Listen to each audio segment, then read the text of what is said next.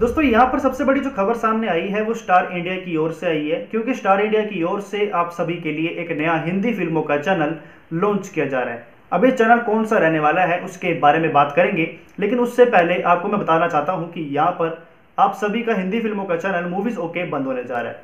Movies okay का जो channel है, वो पहले ही हमारे लिए बंद होने वाला था, लेकिन किसी कारणों के चलते स्टार इंडिया ने ऐसा नहीं किया। लेकिन अब जो है फाइनली इसे 31 जनवरी 2020 की रात 12 बजे से बंद कर दिया जाएगा। इसको लेकर जो है ministry of information and broadcasting की ओर से मंजूरी भी मिल गई थी कि आप जो है मूवीज़ ओके को बंद करके स्टार गोल्ड टू चैनल को लॉन्च कर सकते हैं। और दोस्तों, इसको काफ़ी वक्त लग गया।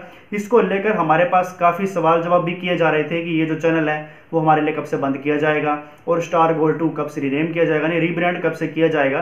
तो फाइनली आपके लिए एक फरवरी 2020 से स्टार गोल्ड टू लॉन्च हो रहा है और मूवीज़ ओके बंद हो रहा है। अभी की बात करें तो मूवीज़ ओके की जो कीमत है वो हर महीने एक रुपए प्रति महीना रखी गई थी, लेकिन अब जो है इस चैनल की कीमत बढ़कर दो रुपए प्रति महीना हो जाएगी, यानी कि एक रुपए इस चैनल के दाम को बढ़ा दिया गया है और अब जो चैनल है आपको दो रुपए प्रति महीने में हर एक केबल टीवी और डीटीएच में देखने को मिलेगा।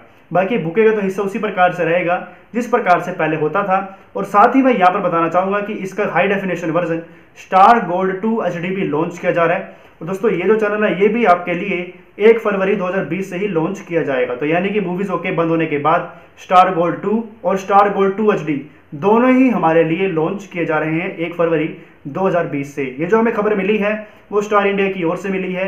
बाकी स्टार इंडिया एक बार फिर से कोई फेरबदल करता है, नहीं करता है तो उसको लेकर आपको मैं सूचित करता रहूँगा। इस वीडियो में इतना था, आगे फिर मुलाकात होगी।